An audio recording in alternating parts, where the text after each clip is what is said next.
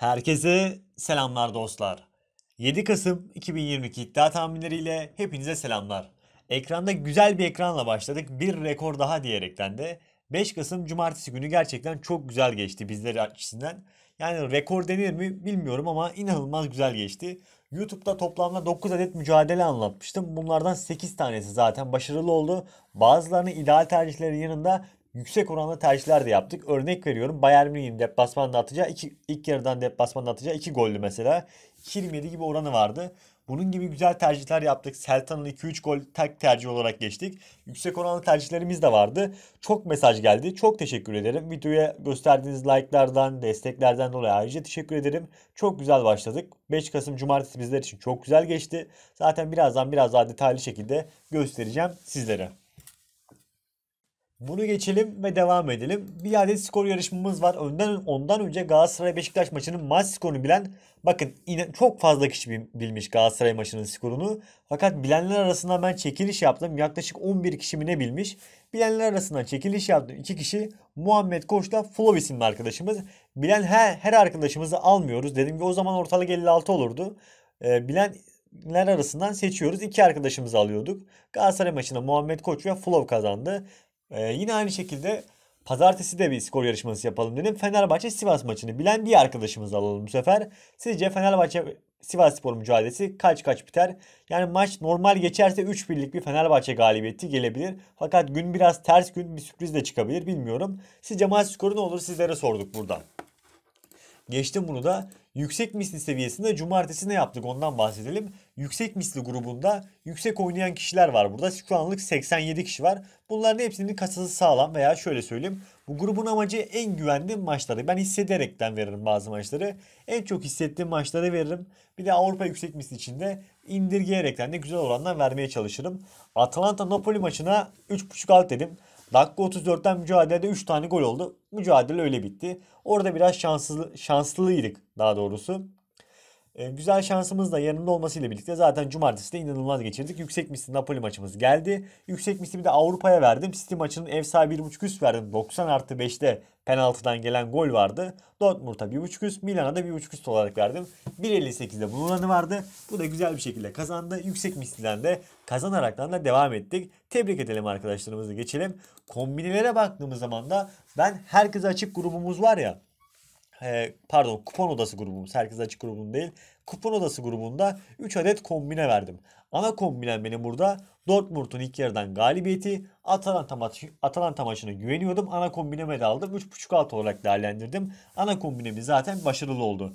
KG var kombinesi yaptım burada. Galatasaray maçının KG varı ilk yarıdan gelirken Everton maçında Everton gol atamadı, gol atamadığı için KG varı yattı. Hemen altında gördüğünüz artı 5 oranlı kombineye baktığımız zaman da Celta Vigo Osasuna mücadelesine 2-3 gol olarak verdim. Galatasaray Beşiktaş maçında ilk yarı en çok korneri Galatasaray kullanır dedim ki 7 tane korner attı. Çok güzel analizlemiştik orada. Milan maçını da Milan ilk yarıdan kazanır diyerekten de burada yaklaşık 5 orandan verdiğim kombine de başarılı oldu. Değerlendiren arkadaşımız çok fazla. Tebrik edelim ve devam edelim aynı şekilde. Canlılara baktığımız zaman da yani canlılarda da bugün gerçekten inanılmaz işler çıkardık. Yani bugün kazanmayan yoktur yani bizim grubumuzda öyle söyleyeyim sizlere. Canlılarda zaten iyi olduğumuzu her zaman söylüyorum. Kendi canlılarımıza güveniyoruz. Hatta ekrandaki şey gitsin. Ben direkt Telegram grubuna girip göstereyim. Bakın nasıl başladım nasıl gittik. Şimdi canlı bir selamun aleyküm dedim başladım. Bodrum maçına ev sahibi 0.5 üst. Nesine oranı ne? 1.62. Aldık mı aldık. Geçtim canlı 2 hemen altına. İkisinin devre arasında verdim bu arada. Dedim ki Manisa güzel oynuyor. Ev sahibi 0.5 üstü. Nesli'nin bir 24 oranı var. Ama ilk golü de yapabiliriz diyerekten. Oranı bir 54'e çıkartabiliriz dedim. Hop başladık. Ne oldu? Bodrum golü attı geldi. O geldi mi? Giresun'un maç önü tercihim vardı. O geldi zaten. Onu da geçtim. Canlı ikimiz Manisa'mız geldi mi? Geldi. Devam edelim. İstanbul maçına Kangal ne demiş? 3.5 üst 1.45 gibi orandan. Hop ne oldu? Geldi. Hem de çok temiz geldi. Kaleci çok çok hata yaptı.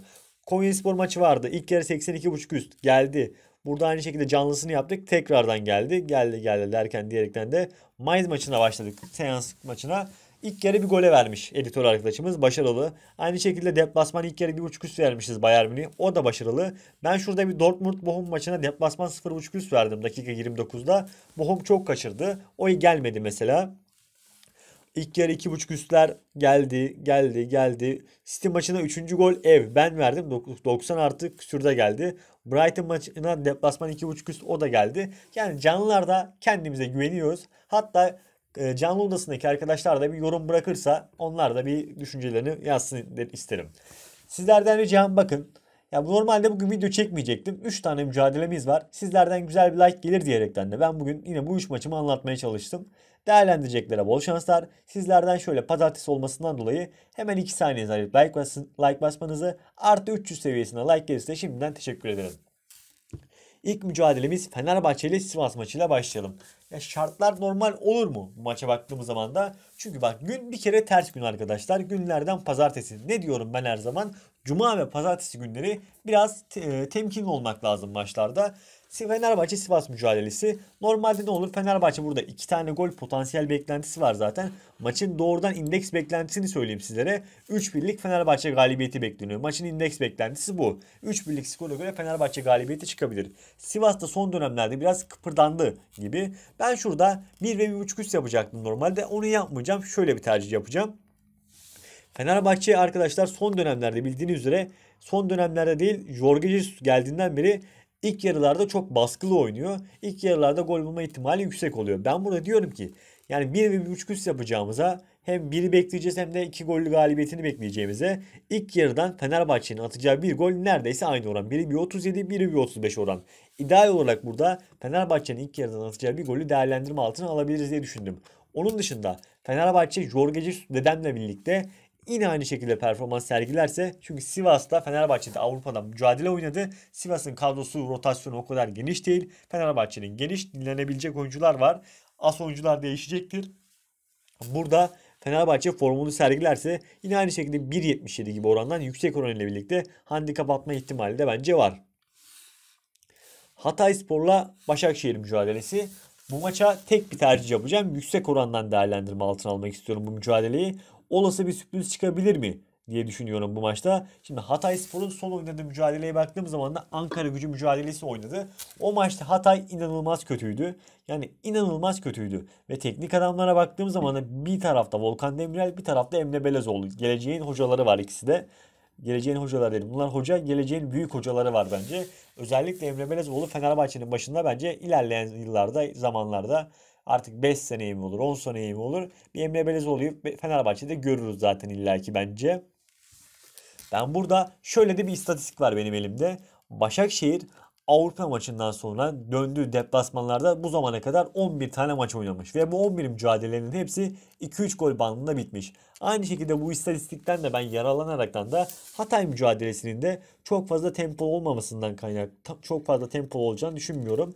Aynı şekilde e, Başakşehir de yorgun. Başakşehir de tempoyu ayarlayabilen bir takım. Hatay'da ara ara basacaktır. Mücadelenin olası bir sürpriz ihtimali var mı? Bence var. 1-1 skoru da olabilir bu mücadelenin. Ben burada 1.78 gibi orandan tek tercihten 2-3 gol tercihini sizlere yapmak istiyorum. Başakşehir'de herhangi bir eksik ve sakatlık var mı diye kadrosuna baktığım zaman da e, Biglia'nın sakatlığı devam ediyor. Mahmut bu maçta olmayabilir. Ev sahibinde önemli bir eksiklik yok. Aynı şekilde burada Kenny, Şorir e, veya Traore aynı şekilde kanatta o da çok etkili. Başakşehir bu şekilde sahada olacaktır diye düşünüyorum.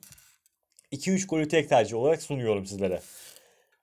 Rayo Vallecano ile Real Madrid mücadelesi Barcelona kazandı liderliğini geçici olaraktan da ilan ettiğini söyleyelim La Liga'da. Real Madrid bu mücadeleyi kazanabilir mi ona bakalım. Bence Real Madrid bu mücadeleyi kazanır diye düşünüyorum ben. Rayo Vallecano burada zorlayacaktır. Mücadelenin beklentisini söyleyeyim ben sizlere. 2 birlik bir Real, Ma Real Madrid galibiyeti bekleniyor.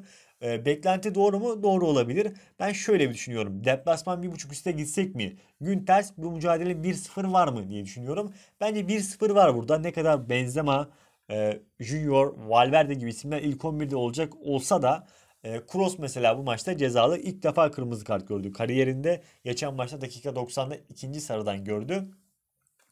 Onlar da aynı şekilde bir Avrupa mücadelesi verdi zaten Real Madrid tarafı. Çok da iyi bir futbol sergilediler Avrupa'da. Ben burada Rayo Vallecano'ya karşı e, galip gelmesini bekliyorum. Deplasman 1.5 üst yapmıyorum. Burada doğrudan 2 veriyorum. 1.44 gibi orandan.